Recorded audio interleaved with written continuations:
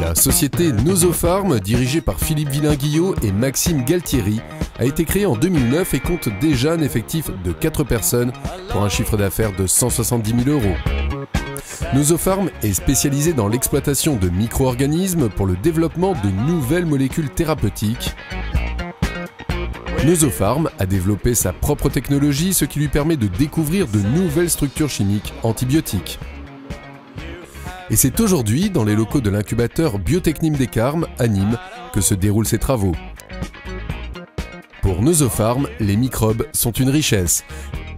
Et grâce à un accord exclusif avec l'INRA, ils sont les seuls à avoir accès à leurs souches microbiennes, ce qui donne à la société un avantage concurrentiel certain pour breveter de nouvelles molécules d'origine microbienne.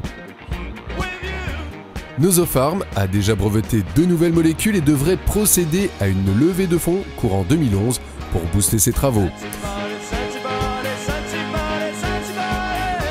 En route pour la santé avec de nouveaux antibiotiques.